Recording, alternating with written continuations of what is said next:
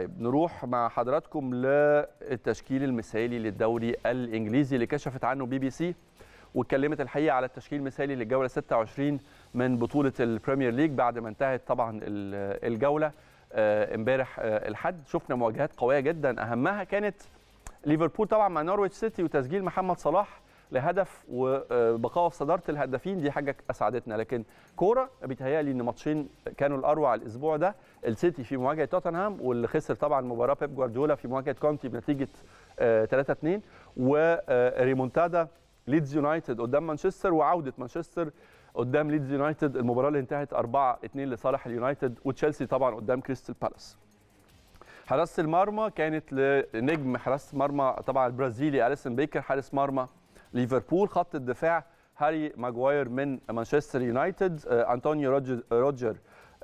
روديجر من تشيلسي كريج داوسون من ويست هام والوسط في بوكايو ساكا من أرسنال برونو فرنانديز طبعا من مان يونايتد إيميل سميث رو من أرسنال ودايان كولو كولو سفيسكي من توتنهام والهجوم معهم سون هيونج مين من توتنهام وهاري كين توتنهام ومحمد صلاح نجمنا المصري طبعا في تشكيلة المثالية للأسبوع ال 26 في الدوري الإنجليزي.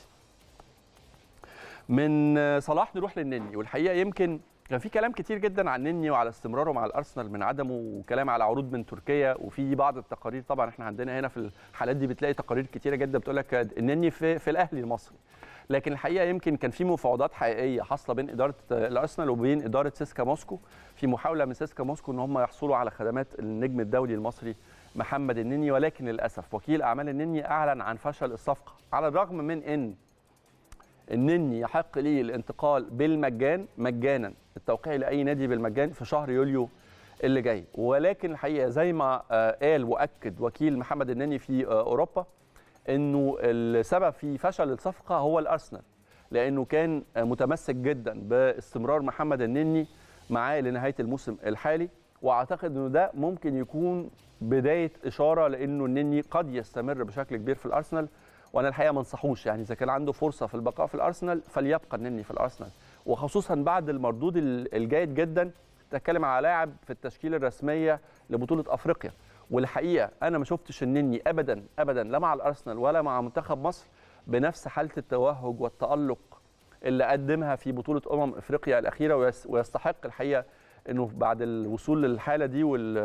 والتوهج ده إنه يكون مستمر بشكل أساسي مع الأرسنال في الفترة المقبلة. طيب هنتكلم على ماتش بكرة والأهم منه كمان أنا عارف إنه جماهير النادي الأهلي بكرة هتبقى عيونها وعقولها مع مباراه مصر المقاصة لكن قلبها وتفكيرها وانشغالها كله هيكون رايح على مباراة السبت طبعا مباراة القمة اللي هتجمع بين الأهلي وبين سان داونز هنتكلم على اثنين مع نجمنا النهارده نجم النادي الأهلي ونجم حراسة المرمى في النادي الأهلي كابتن أمير عبد الحميد. هيكون هيكون ضيفنا في السادسة بس تسمحوا لنا نروح لفاصل ونرجع بعد الفاصل نستقبله مع حضراتكم.